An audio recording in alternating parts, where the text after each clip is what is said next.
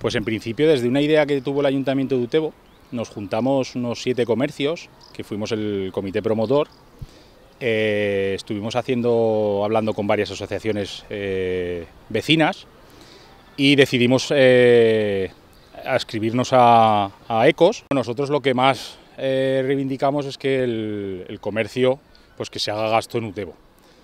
poder subsistir simplemente con la gente del, del gasto que hagan aquí en Utebo.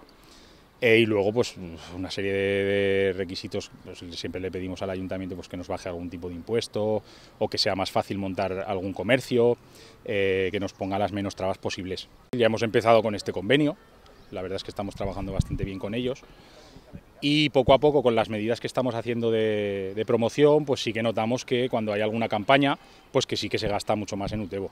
La gente ya empieza a conocer a la asociación, y hay comercio, hay gente que ya viene a los comercios de la asociación. Ahora nuestro principal objetivo es mm, dos partes. Una es hacer más asociados, para contra, más asociados tengamos, eh, más fuerza podemos hacer dentro del municipio.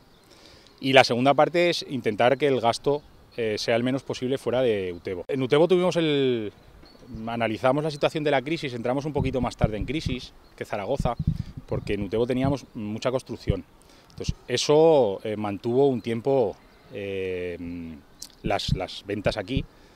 Lo que pasa que eh, luego cogimos una gran crisis. Eh, dos años después de entrar en Zaragoza entramos aquí, entonces aún estamos empezando a repuntar un poquito. Hay sectores que sí que están repuntando, pero otros sectores que les está costando más. Hemos tenido pues muchos cierres de comercios, ahora ya están empezando a abrirse comercios nuevos.